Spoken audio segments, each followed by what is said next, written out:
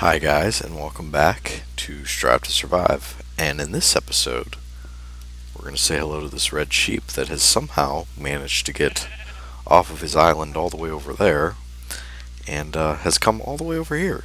So good for him. But anyways what we're really going to be doing this episode is uh, discovering how to do some of the basic brewing functions in Minecraft. And to do so, we're going to need a couple things. So let's head down here and get to it. Um, as you can see, I've, well, I haven't done too much. Uh, basically just got some materials together to do this. Uh, this is all the stuff we're going to need uh, to do some basics here. Uh, first, we're going to grab one of our blaze rods. We're going to take three cobblestone along the bottom and our blaze rod, and that will turn it into a brewing stand. So we'll grab that put it on our little makeshift table here. Um, and to interact with this, you just right click on it like you would a chest. You have to right click on the bottom of it though. If you're clicking on the top, nothing happens. You actually have to click towards the base of the stand. So basically the way this works is you'll put your potions in the bottom here, and whatever you want to add to them, you'll put in the top. So your ingredient will go in the top, and then it'll kind of condensed down into each of the things on the bottom. Now you could either put just one here or you could put up to three here. I always do three because you have to use the same amount of ingredients whether you're making one or three. So not really a point to just make one of something. Uh, but another thing we're going to need is something to hold our potions, which we'll take our glass blocks, arrange them like a bucket, and we'll get three glass bottles. So with these glass bottles, they're pretty useless uh, empty. We need to fill them with water, which you can do by just going over to the stream here and right clicking. Um, which is all fine and good, but I want to fancify this area a little bit, so what I'm going to do is right click on our stand here, and we're going to make a cauldron, because why not? Now, it's important to note that once the, these glass bottles unfull, were stackable. Once you start putting anything in them, they're no longer stackable. So we're going to set our cauldron up over here. And we'll fill it up real quick. Now we can fill our, well, let's refill our bucket here. But we could fill these glass bottles here as well, and I'll demonstrate that. Now, one of the things you could do with these water bottles is drink them, but that's pointless. It doesn't do anything. So we'll uh, fill it back up. You see our cauldron got a little less full. You can fill up, I think, three glass bottles with a cauldron, whereas we can fill up endless over here. So this is more just for looks, and I'm going to put like a lever or something over here, I think. Let's see if I can remember how to make a lever. There we go. It's a nice little spigot there. It, completely pointless, but, you know, I wanted to do it, so. Alright, so let's put our water bottles in here, like that, and we will turn them into the most basic of Minecraft potions using one nether wart. So we'll take our nether wart, we'll add it to the top, it'll do its little brewing animation, the arrow will start proceeding down, and when it gets to the bottom here, we'll end up with something called awkward potions. Awkward potions are the base to any Minecraft potions, so let's let that finish real quickly. So it's done now, so you see awkward potion, and it says no effects. So we'll need to add another ingredient to those to turn them into something useful. And basically the ingredients we have down here right now, we have magma cream, which we'll go into in a little bit. Uh, nether wart to make everything into awkward potions. That's why it's so important because it's the base for all Minecraft potions.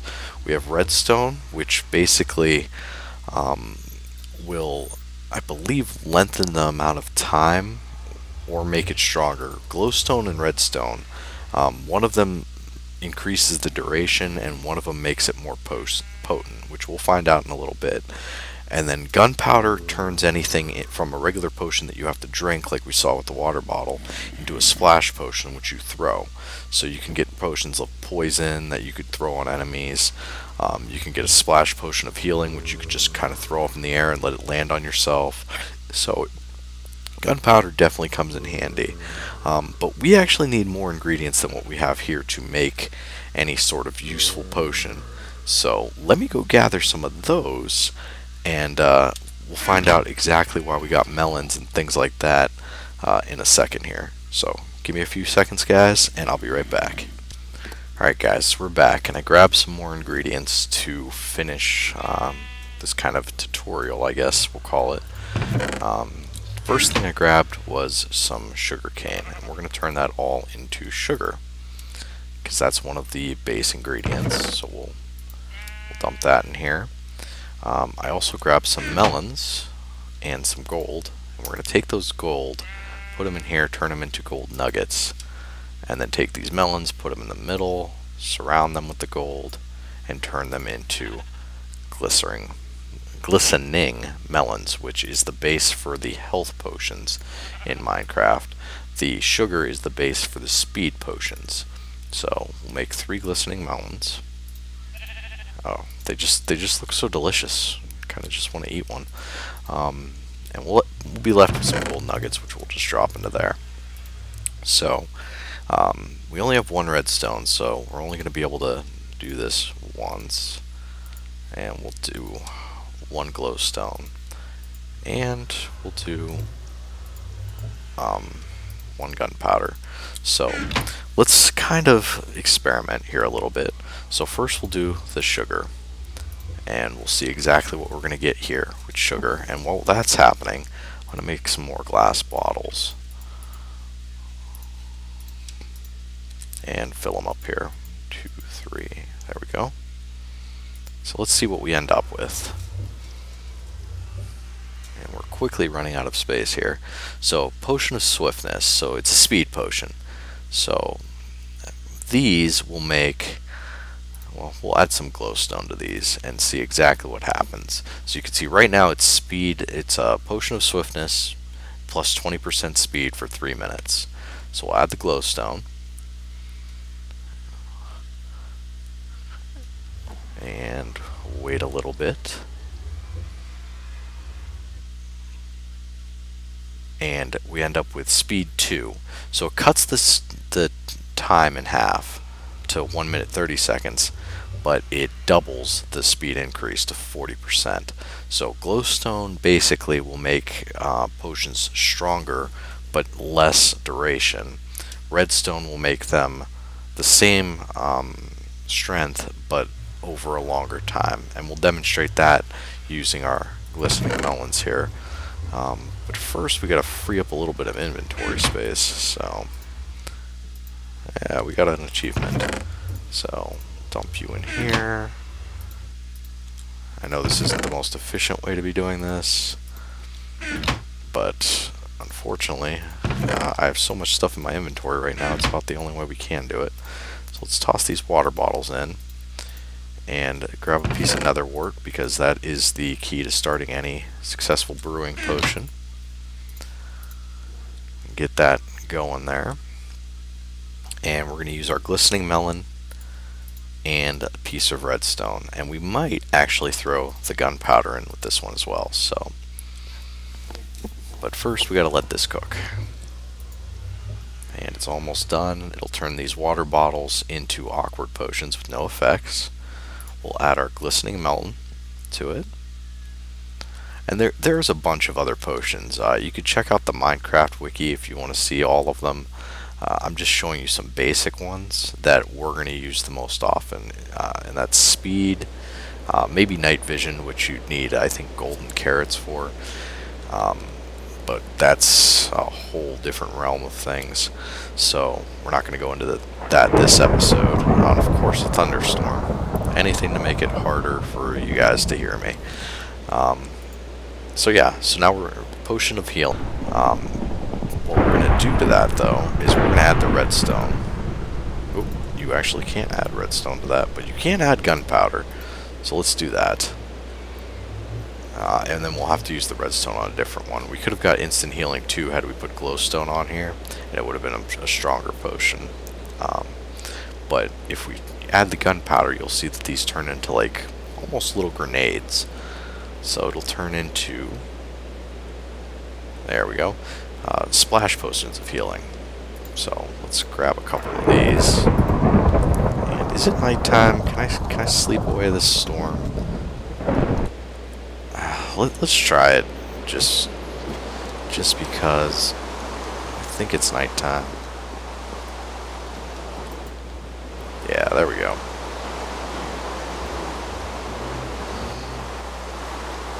Go away, storm. Thank you. Okay, so anyways, we're going to grab uh, some more glowstone, actually, so that we can demonstrate this, but... Uh, oh, all my glowstone's down in this chest. But, so I'll show you the difference between some of these potions here. So, our speed 2 potions. Now, we would we have to drink this potion. It's not just a throwing, it's it's a drinking. So that, if that was health, it would take a little bit longer. With the splash potion, you just aim it towards something that you could either aim straight up or you could aim straight down or throw it at this wall. The closer it gets to you, the same like with the witch effects, if it hits you dead on, you're going to get a better a better benefit from it. So Um, well, apparently that either did not hit us or since we're already at full health, it did nothing to us. Um, hmm, let me see if we can injure ourselves a little bit. That way we can we could demonstrate this. Is there anything out here to damage us other than jumping from a very tall height? Probably not. So let's just do that. We'll we'll go to the top of something and, and jump off.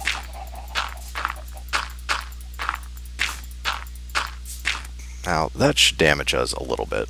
So, so yeah. So you can see we gained back some health there.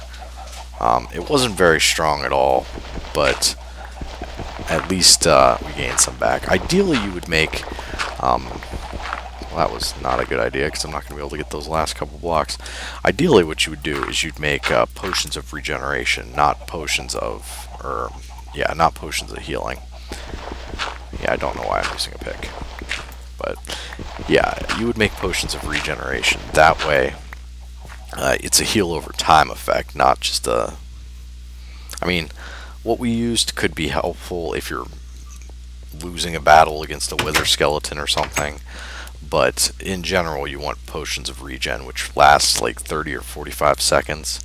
So that's definitely going to be better than what we did here. Um, but let's go ahead and make a couple more uh, potions here which we'll need. Now you can see those those splash po potions the bottles are just gone. We can't use them anymore because we broke them. But uh, the drinkable ones turn back into glass if we drink it. So let's uh, take this swiftness. Now you can see we have this speed 2 effect for a minute and 30 seconds. And we still have our glass bottle, which basically just makes us run a lot faster, and that'll be pretty helpful down the road. So let's make some more glass here. Fill it up real quick. Get three of them, that way we can put them in here. We'll grab some more nether wart and uh, yeah, I guess it doesn't really matter where in our inventory we put that. Start getting that going. Put this final glass bottle in there because we don't really need it right now. And you'll get these funny little potion effects, and now's a good time to actually talk about what milk will do.